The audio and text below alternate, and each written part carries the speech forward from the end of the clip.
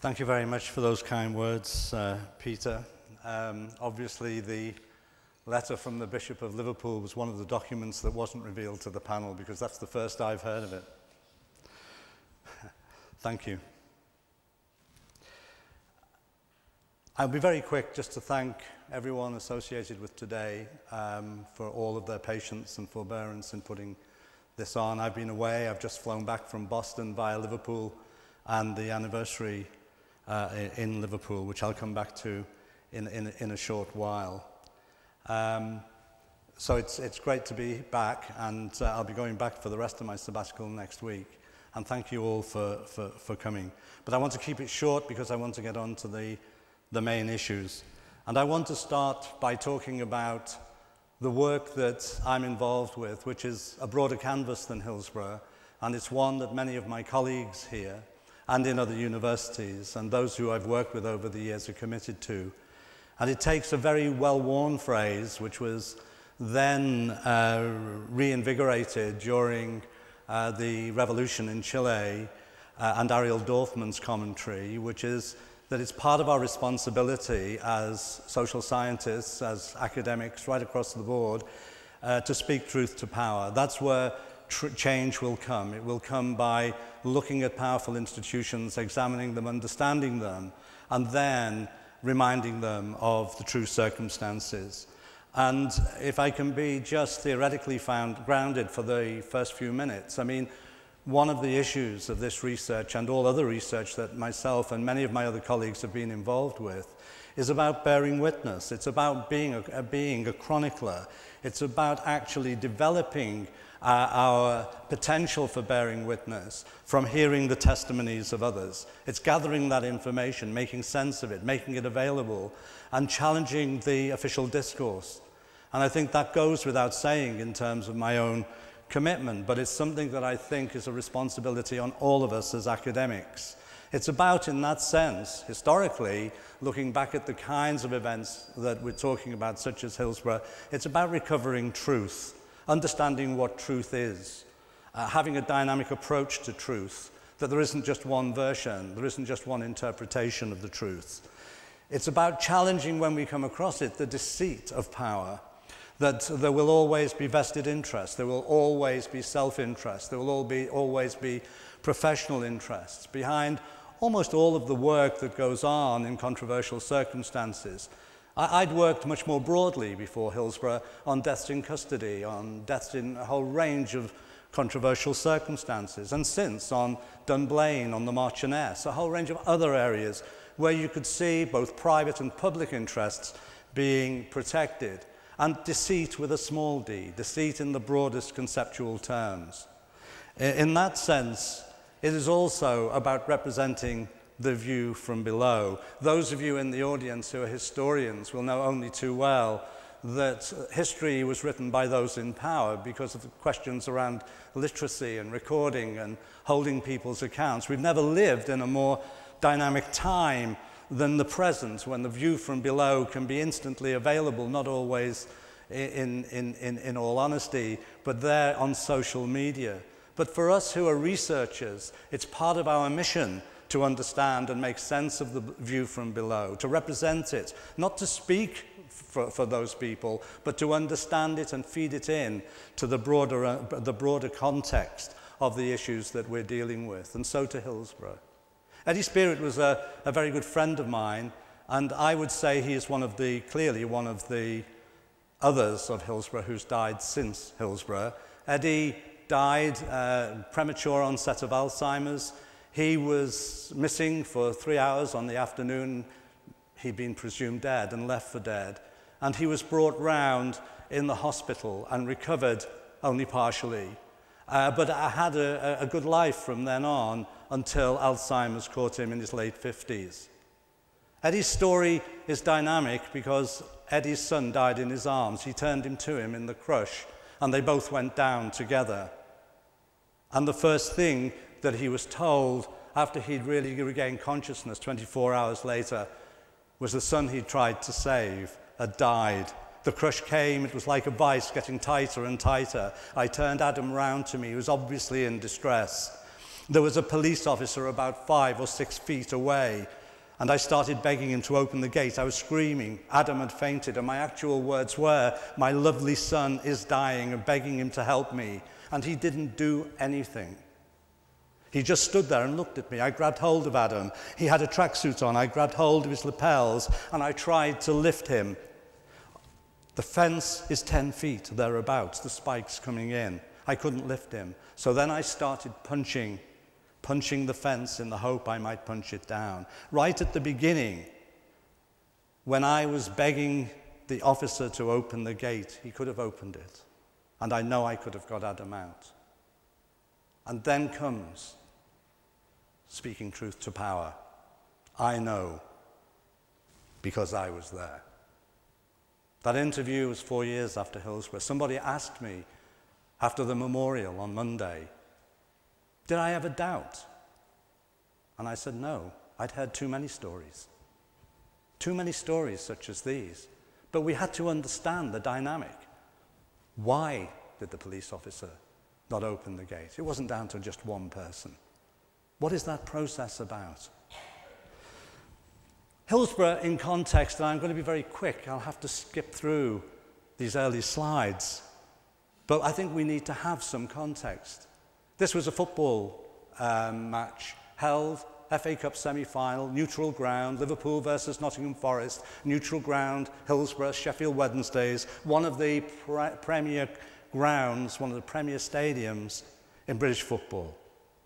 So it's managed and owned by Sheffield Wednesday Football Club. It's hired by the FA, the Football Association, for one of its premier events. It's licensed by, Liverpool, by Sheffield City Council. And it's policed by the South Yorkshire Police. A strange relationship in policing, stewarding inside the ground, policing outside, but also to some extent inside the ground. A kind of ambiguous relationship built up over time between the police and the club. 15th of April, fans arrive. They arrive on a beautiful day, a beautiful spring day. The word corralled is not mine. That is the technical term that was used for bringing fans from the train station, for bringing fans from the coach park. Corralled and escorted to the ground. They arrive at an outer concourse, and there's an immediate crush at the turnstiles. They're arriving about half an hour before the game starts. 23 turnstiles at one end of the stadium, processing 24,256 fans. They're going into a Leppings Lane terrace, which is standing, the north stand and the west stand, all fed in through this one small outer concourse, smaller than the room we are in now. The terrace itself, 10,000 fans across seven, through seven malfunctioning turnstiles. They're going into pens that have been built in 1985 for crowd control. The police realize they can't get people through. The crush is becoming intense at the turnstiles. They open an exit gate and the fans enter, and as the cameras show, they enter slowly, carefully. They come into a, a ground, a stadium they don't know. They're faced with a tunnel. Above it, it says standing. They go straight down the tunnel. They are not to know it leads to two central pens. And in those central pens, they're already packed. They're going down a one in six gradient tunnel, an illegal tunnel that breaches all the safety regulations. Once you're down that tunnel, there's no way back. Compression like a vice getting tighter and tighter, says Eddie. A barrier towards the front of Pen 3 collapses. People go down 19, 20 deep at that barrier, crushed against the front wall. People behind can't pull back because the compression is still building. The refusal to open the perimeter gates, one to each pen, no wider than my shoulders. I would have to go through sideways. Fans are pushed back, trying to climb over the fence. They're dropped from the, from, from the stand behind as they try to climb up into the emergency response doesn't come. There's no immediate medical response. These are crucial minutes, as we shall see. This is kind of what it looks like You can see the outer, the, the, the outer, uh, the outer area, the concourse area coming off the Leppings Lane itself. You can see where the turnstiles are. There's the tunnel going down under the West Stand. And the two central pens are immediately behind the goal. I want you to just keep this picture in your mind, just above the word South, right there on the corner flag, inside the stadium, is the police control box, an absolute perfect view of the terrace. And this is what it really looked like from the other side. You can see the control box just below the, sta- below the Finlux uh, um, ba banner across on the far side. And you can also see the compression in the central pens. Compare it to the peripheral pen, where people are standing in plenty of room, some sitting on the steps. Those pens, those central pens, are now twice their authorized capacity. They become three times their authorized capacity. No checks. And you can see on the actual perimeter tra track this is about the point that Eddie is saying, My lovely son is dying. The match is still going on. Bruce Grobbelaar's in goal. It's only at six minutes past that the match has stopped. This is the crucial moment.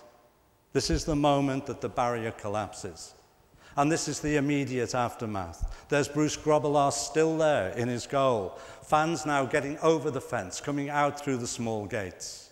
And that's taken, that last photograph is taken from immediately below the box. And in that box, Chief Superintendent Duckenfield, he had authorized the opening of the gate. But immediately, his response was to say Liverpool fans had stormed through the exit gate, entered into the stadium, rushed the pens, and as a direct consequence, people had died. Occasionally, it's a word I'm always loath to use, occasionally you have to name something as it is. It was a lie. He knew. He knew the score. He'd authorized the opening of the gates. He had a barrage of monitors there in his control box. And he was in touch by radio to every single police officer on duty at that end of the ground. He said afterwards, I was not being deceitful. We were all in a state of shock. I just thought at that stage, I shouldn't communicate the situation. I may have misled Mr. Kelly. What is he referring to? An interview he gave to Kelly, who was at that point leading the Football Association. He'd come immediately to the box. What is going on? And he told him Liverpool fans had broken into the stadium. Liverpool fans had caused the death of their own. Kelly repeated Duckenfield's lie to the waiting media, and within minutes it was broadcast around the world. Liverpool fans were blamed within the first 30 minutes of people realizing that there was an incident.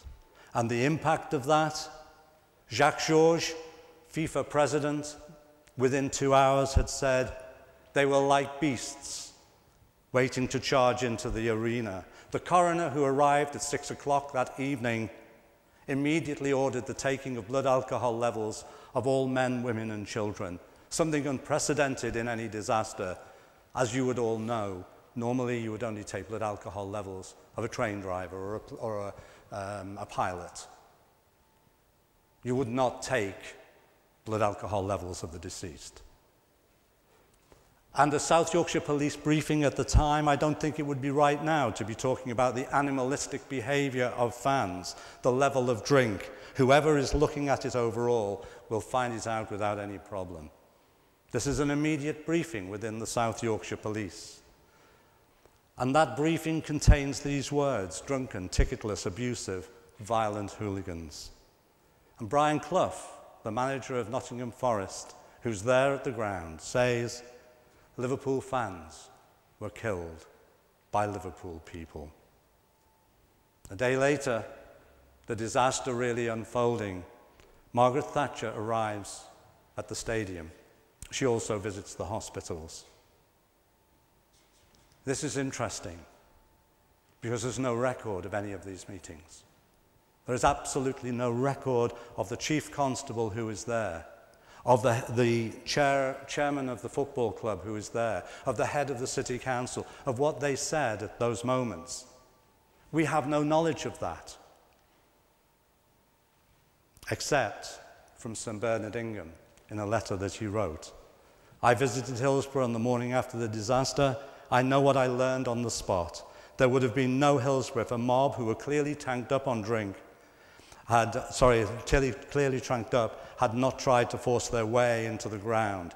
To the blame the police is a cop out. I see no purpose in addressing the, an organization which is incapable of accepting this simple fact. He's talking about the Liverpool City Council. So, this is what was found. This is the corridor or the terrorist conversation that was being held. And so it followed. A judicial inquiry led by Lord Justice Taylor was appointed that week. Criminal and disciplinary investigations lasting two to three years. Inquests, the longest at that time inquest in English legal history, split between individual hearings for 96 and then resumed as a generic hearing a year later. Civil actions taken in five or six different cases. Eventually, a judicial review of the inquest, a judicial scrutiny by, led by the former head of MI6, Lord Justice Stuart Smith, in 1998 at the instigation of Jack Straw to see if there was any new evidence had emerged, and a private prosecution of the two most senior police officers in the year 2000. A hung jury on David Duckenfield. The Hillsborough Project began in 1990 when I was at Edge Hill University. We were funded by the Liverpool City Council. We produced two substantial reports, one in 1990, one in 1995. We were building a different story. We were interviewing those who were the survivors and the bereaved of Hillsborough. We were also accessing a whole range of documents previously unseen. And then Jimmy McGovern, from that work, made his drama documentary. And finally, in 1999, I produced the first edition, this is the third, of Hillsborough the Truth, telling the alternative story. 2009, the persistent myths and denials of Hillsborough have lived on another 10 years. Documents have been released in dribs and drabs. I've moved on, I'm here. I'm doing work on prisons, I'm doing work on, on children and young people. But Hillsborough is never very far away. And what we see during this period is the persistence of the myth that Liverpool fans had killed Liverpool fans.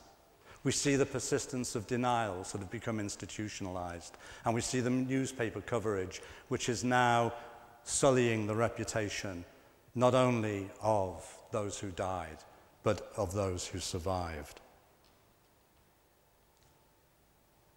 People talked about families seeking closure. Closure is a word that comes easily to the tongue.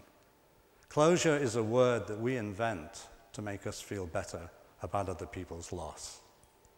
How can you ever close a situation where you've lost a child, a husband, a mother, a grandfather in such circumstances? There is no such thing as closure. And it was at that point that I wrote the new edition of Hillsborough the Truth. I re interviewed the families concerning the myths, the denials, and this concept of closure. And my intuition was accurate. But what they told me was they never felt that they had ever had justice delivered. But as all with all of us, they couldn't identify what that justice mean, meant. Did it mean acknowledgement? Did it just mean truth provision? Did it mean further prosecutions. What did it mean? And many were angry, angry at their loss, angry at the loss of loved ones who died since, some taking their own lives. What they were primarily seeking, however, was truth and acknowledgement of that truth. 20th anniversary, I was there with my family, with the families as usual. When, for the very first time, the families invited an outsider to speak to the ceremony to the memorial service. 30,000 people turned up at Anfield for that 20th anniversary service. And Andy Burnham, then Minister of State for Culture and Sport, he made a commitment that there would be a revisitation of all the documents. I met him that evening and said, Not for me to tell the government minister, Andy, but you haven't got the powers. You've got to wait another 10 years before we have access to official documents. But he was as good, as good as his word. And the Hillsborough Family Support Group was asked to submit a case for bringing forward that access rule. And the document they produced was truth recovery, acknowledgement, and resolution. And clearly, I was involved in the creation of that document. As Peter has alluded to, the Home Secretary agreed to the appointment of the Hillsborough Independent Panel to access, research, and analyse all of those documents that were available in both the public and private settings, and for those documents to go into an archive. Our terms of reference First of all, the oversight of that published disclosure. Secondly, to consult with the families, ensuring that all of those who were most affected, their views were taken into account. That disclosure would be first to the Hillsborough families, and that there would be recommendations made by the panel for a public archive so that all of you from your home computer can access the documents. But most significantly, a report that would explain how the disclosed information added to public understanding, not only of the disaster but of the aftermath, its investigation, its inquiry. And the research process important that it was independent. It was important that it became part of a university structure, external to the Home Office. The scope of that, the context of the disaster, right the way back. The actual circumstances of the disaster, the immediate circumstances, the months beforehand and on the day, and the aftermath, the long term aftermath, the process of inquiry and investigation that we would take those documents and we would syst systematically analyze them, cross reference them, share them. And the research team was appointed in order to review all of those documents. But I was determined that we should also examine the medical evidence relating to Hillsborough. And Bill Kirkup, who was the medical expert on our panel, was the person who actually took that research forward in association with our researchers.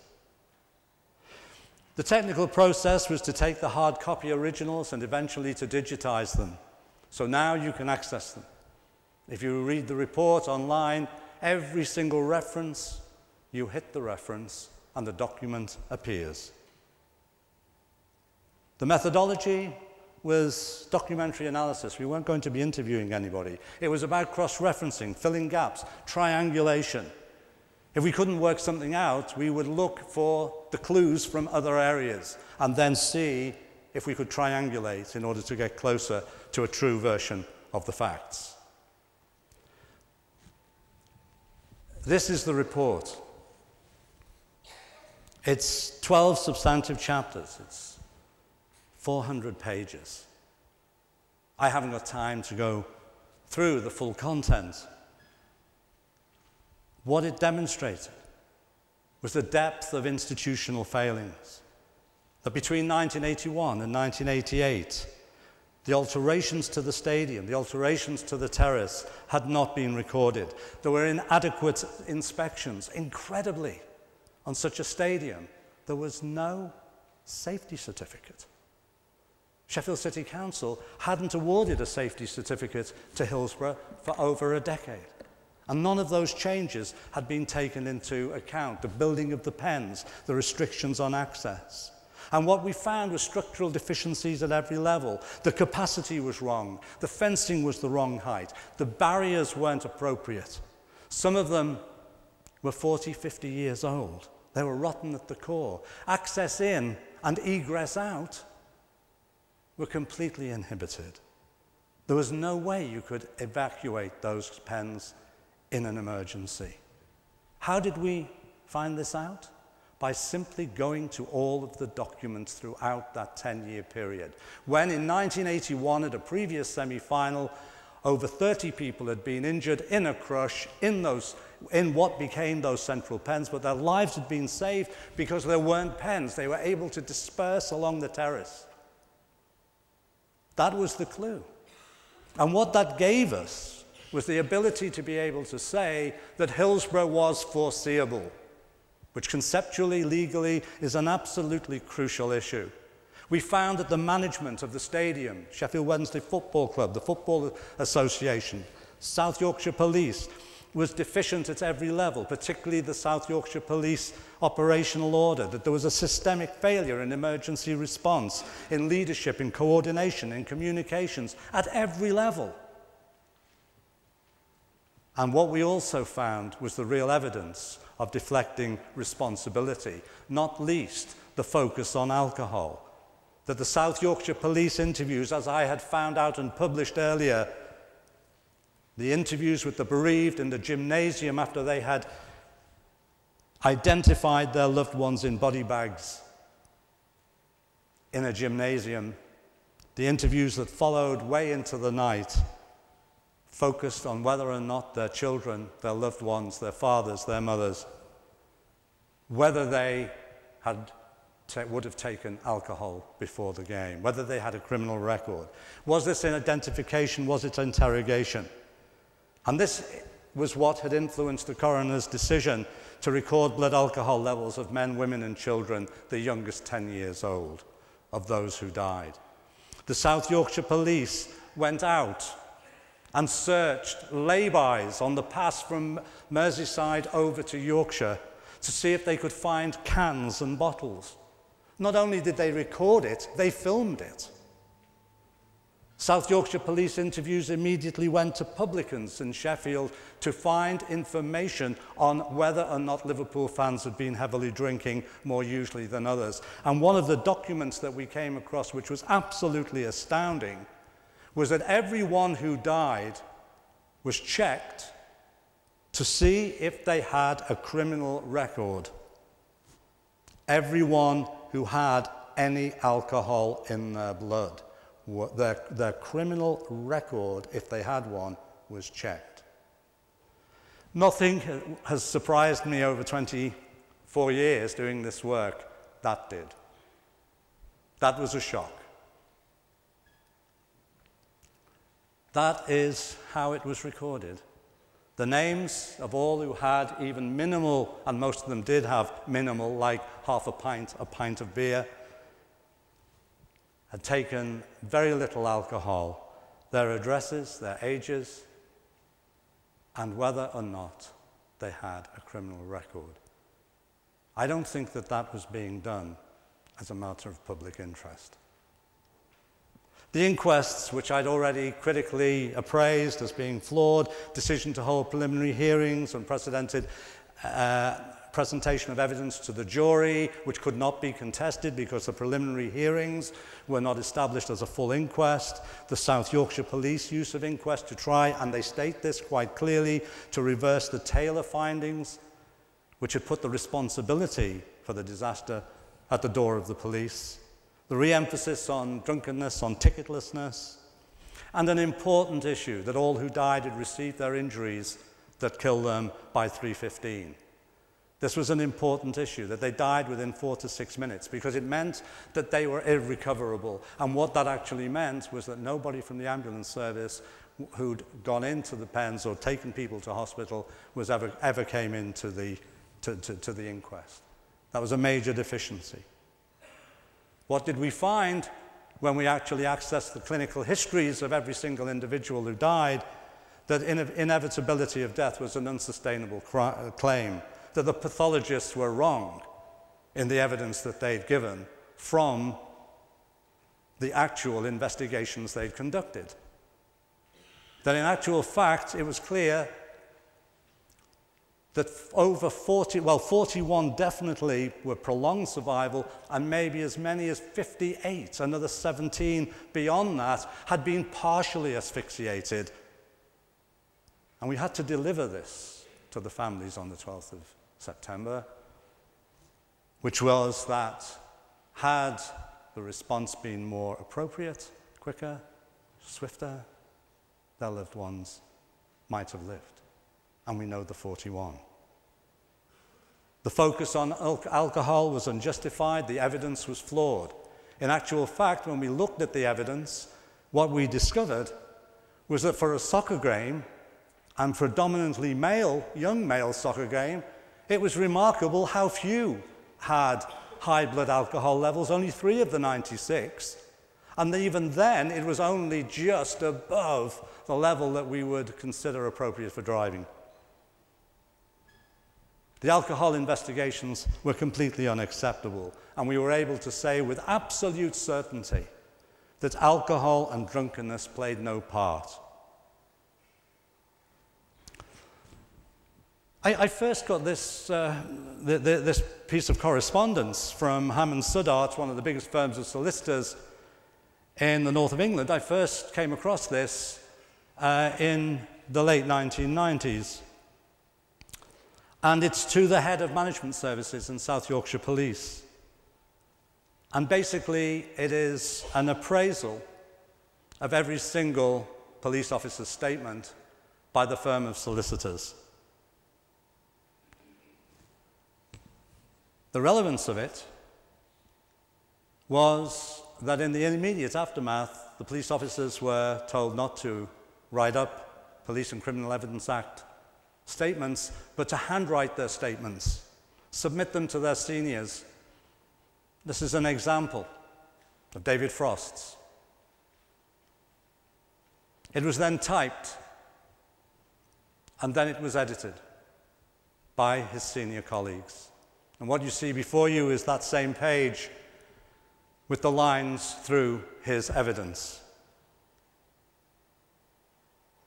And there you see the same page with a signature at the bottom, David Frost's signature. I said to David Frost when I first met him on the snowy hills of Sheffield, and he gave me these statements. But at the end of it all, David, you signed your statement. I'll never forget that moment. It's my signature, but I didn't put it there. And I reveal that in Hillsborough: The Truth. That the police statements had been reviewed and altered systematically, institutionally, by a team of six officers under Chief Superintendent Wain, answering directly to the Chief Constable of South Yorkshire. The evidence had been systemically corrupted. It was initiated very clearly within the South Yorkshire Police prior to the West Midlands Police investigation team coming into the process.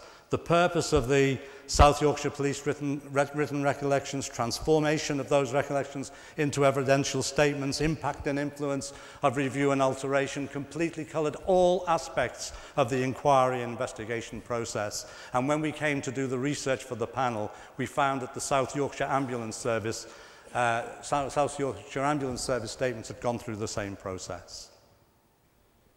This isn't new evidence.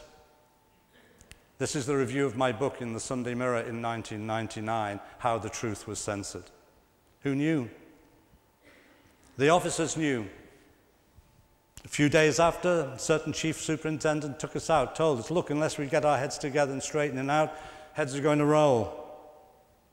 I remember one night sitting bolt upright in bed, fast asleep, and saying to my partner, they all knew. And so they did. The West Midlands Police Investigation Team, Lord Justice Taylor, the Coroner, the Treasury, Solicitor, the Home Office, they all knew that this was the process that had gone through. And the final area I want to touch on is an area that I know many people in here will know something about. Kelvin Mackenzie's decision as editor of The Sun a few days after the disaster to tell the truth of Hillsborough. Some fans picked pockets, some fans urinated on the brave cops, some fans beat up PCs given the kiss of life. This was part of the orchestration. From the outset, in everything I've written, I've said, to go so bold with such deceit, you have to be confident you can stand over what you have. Just weeks before we were due to publish our report, and we delayed it by six months, I finally got access to the material that filled the gap and gave me the evidence of why he was so bold and could be so bold. The police had gone to a news agency. They gave these statements that Fans had kicked and punched as they gave the kiss of life, openly urinating on us, the bodies of the dead. Had fans entered the ground in an orderly, civilized manner, crushing would never have happened, picking the pockets of victims.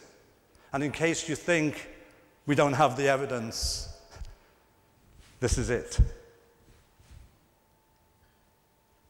And the politician, Irvine Patnick, went also to White's news agency.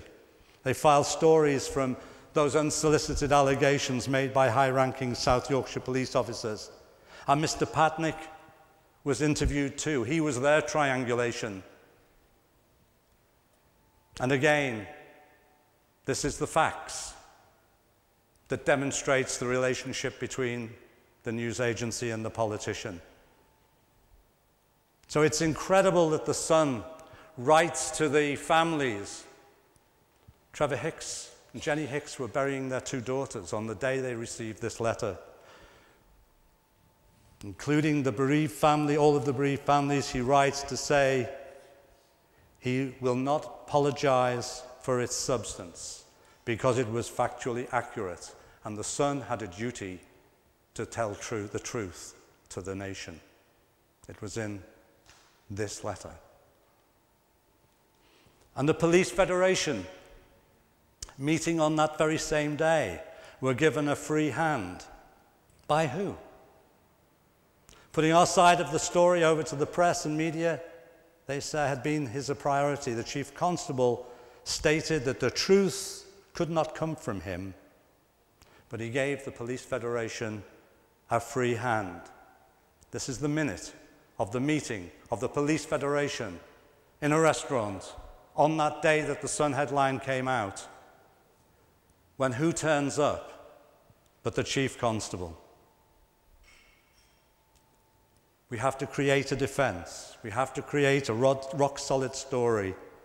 The force would be exonerated by the Taylor inquiry predicted, and blame should be directed towards drunken, ticketless individuals. And in support of that, we see the South Yorkshire Police sworn statements alleging drunken behaviour and violent behaviour being supplied to Irvine Patnick. And the agency then forwarding his statements. And in response to Taylor, another meeting that is held by the Police Federation, meeting with Michael Shersby, parliamentary representative, where in this they're developing a counter-attack, not my words, to repudiate Lord Justice Taylor's findings. And so, on the 12th of September 2012, we were able to say with absolute certainty when the families received this report, families first, no one else had seen this report prior, not even the Prime Minister. We were able to deliver that report and we were able to say that the fans were not the cause of the disaster. And our hope was that greater transparency will bring to the families and to the wider public greater understanding. Because we felt that it was only with that transparency that those who behaved with such dignity through those years can, with some sense of truth, we said, and justice, cherish the memory of their loved ones. So, Finally, what is the impact, which is what today is about? The Prime Minister apologized immediately, hours after, minutes after that report was was, was given to the families and the two hours that I spent delivering it in Liverpool Cathedral to them for the double injustice. The Independent Police Complaints Commission has now set up the biggest investigation into 2,000 officers into police misconduct, a criminal investigation where individuals and corporate bodies are now being fully investigated in terms of their role at Hillsborough. The Attorney General in the High Court the Attorney General submitted to the High Court a request for the quashing of inquests. Those verdict, verdicts have now been quashed. New inquests have been ordered. The Chief Medical Officer has told the Royal College of Pathologists that they must review their procedures in issues of, of mass death. And the and the chief executive of the NHS has written to all emergency services and health authorities to change their ways of dealing and responding to issues such as these. Critical, re critical re social research is about bearing witness. It's about chronicling events. It's about, as I suppose one of my hidden mentors, although I never met him, C. Wright Mills, called turning personal troubles into public issues, making relevant the personal troubles we face. And turning cases into issues is the phrase that Sivanandan from the Institute of Race Relations has always used in terms of making public that which we do, building alternative accounts, seeking the truth, securing acknowledgement. And what is important in all of this is how we hold states to account. Two days ago, I had the daunting task of speaking to some 15,000 people at Anfield. I didn't want this to be about me or our research. I wanted it to be about them. How could I turn 200,000 words into a statement? So, for those of you who are English scholars, I apologize. The poem I wrote and read is called The Voices Will Be Heard. With early spring sun came warmth and hope, spirits lifted through snow capped hills. Streets alive with nervous laughter, another adventure in another place. Vibrant voices breaking solitude's silence. Approaching Hillsborough calm and joyous, walking expectantly to a Wembley final. Safe passage ended down that fateful tunnel, in pens like cattle between concrete and steel. Desperate voices, so cruelly silenced.